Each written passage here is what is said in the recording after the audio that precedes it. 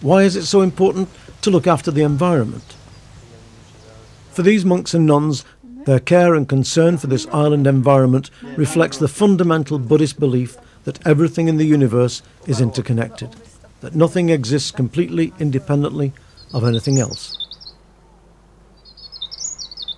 Everything is linked by a complex web of conditions. Their compassion for all life on the island springs from this sense of connectedness. Buddhists take this as one of the basic facts about the nature of existence. Known as the principle of conditionality or conditioned co-production, it is a key aspect of what Buddhists believe the Buddha understood at the moment of his enlightenment. It is a fundamental principle from which everything else follows.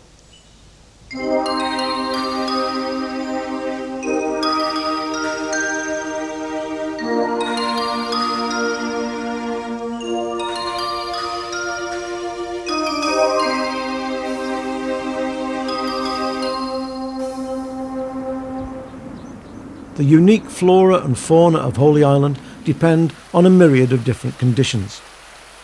The soil, light, moisture, and a previous generation of plants were some of the complex of conditions that brought this delicate orchid into being.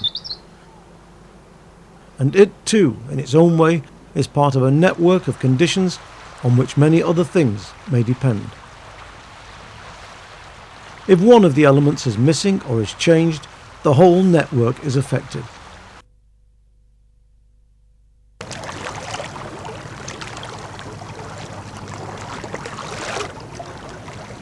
Buddhists believe that this law of cause and effect works on all levels of existence. It applies to everything the physical environment, plants, animals, people, even to our states of mind. Where it applies to people and what they do, it is known as the law of karma. The word karma simply means action. The lighthouse buildings on the southern tip of the island have been converted into a retreat centre for the nuns of Samye Ling Monastery. This outbuilding has become the shrine room. For Buddhists, the law of karma is nothing mysterious. It's just how life works. Actions have consequences. They believe that their actions shape who they become and affect other people and the world around them.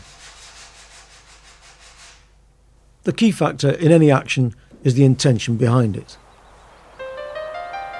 Actions driven by greed, hatred, or confused states of mind are said to be unskillful and will lead to unhappiness.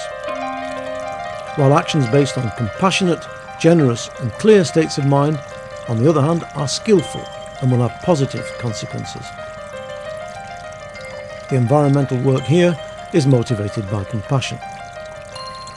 You know, like when you live on an island, you really you're aware of all the things that you throw away mm. and stuff like that because you so just you have massive piles. So we try and use everything, mm. like from all our yogurt pots and the, and the cardboard boxes, anything that we can utilise to help us kind of live. Excellent. We, we do that, which is really good, and you can. That's really fertile. Yeah. And the cardboard, the cardboard's totally gone. That, so that's had cardboard in it? Yeah, that had, that was exactly, that started off exactly the same as that one. It feels really warm. The Holy Island project is an ambitious one. Yet for Buddhists, the greatest project that can be undertaken is that of self-transformation. Buddhism says that it's through inner transformation that one can most effectively engage in the task of transforming the world.